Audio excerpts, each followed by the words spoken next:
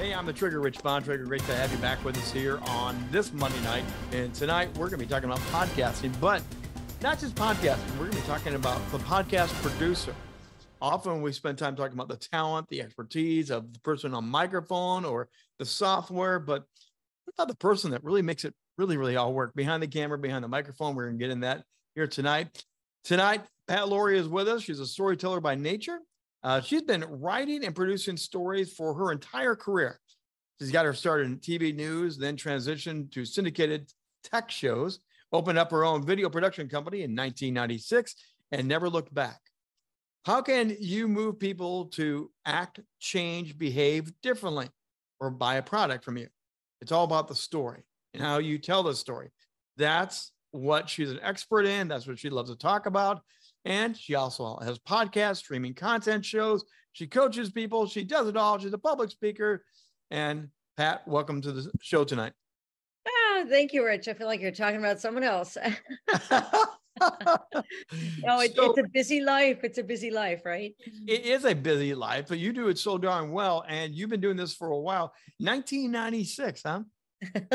You're making me feel old now. No, no, no. Yes, no. I literally was on television. Actually, I've been doing it since 1990, to be honest with you. My, my first television reporting job was in 1990. I opened up my video production company in 1996. So, yeah, before the internet was even developed.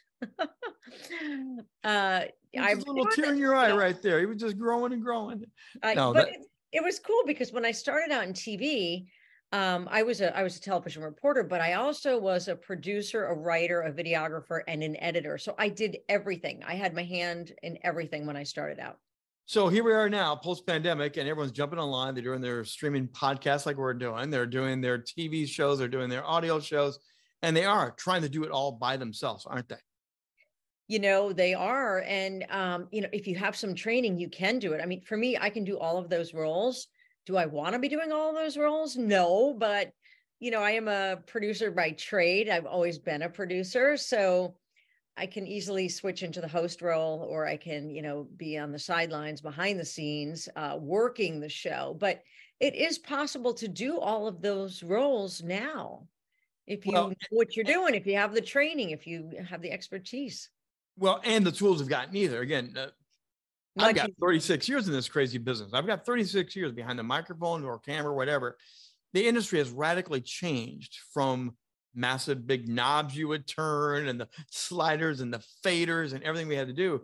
Now you can have a digital board right in front of you and you have your own home studio that's really seamless to use, isn't it? It is. And so I started doing my own show in the pandemic. Um, you know, using one of these platforms, a Restream platform is what I mm-hmm. chose to use, even though there's a, you know, a couple dozen of them out there. Uh, because it was intuitively easy to do that. You know, I know exactly how to put a television show together because I have I produce a 30 minute television show even now. So I know what goes into it. I know the ingredients for a good television show or for a good live streaming show or for whatever it is and it doesn't have to be 30 minutes it could be 5 minutes but you have to stick with the you know the tried and true ingredients to get that show going and and it looks great and it's free i mean it's almost free i guess you can use the free version of it but i have yes. the paid version of it but yeah so it's like i would tell people all the time you know this is your free production studio this is your free television station you know Go well, I mean, it. has got the lower thirds, it's got the transitions. Oh They've now added newer newer things to Restream. That happens to be the platform I use a lot as well. But let's go to the producer side. We do spend a lot of time talking about the microphone, the persona, how to come alive, but the producer often is the secret sauce to everything. Now, Absolutely. one of the questions I want to ask you is host to producer, there does have to be a symbiotic, fun, secure relationship there, doesn't there?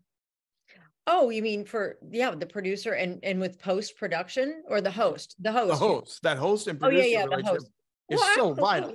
Uh, they have to work together, sure, because you know they have each other's backs. Really, I mean, you know, the host perceive like I I end up doing all of the roles, but in a traditional company, yep. I like to do things differently.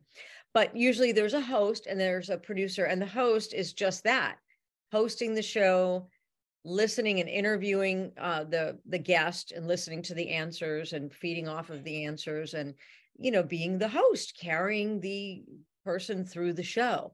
But how do you even get there? So the job of a producer and i have like written down all these things because i'm like it's a long list. People don't realize how much it's producers the, do. the person that gets things done. It's it's the doer in the and i'm not putting the host down but the producer a good producer is the success behind every show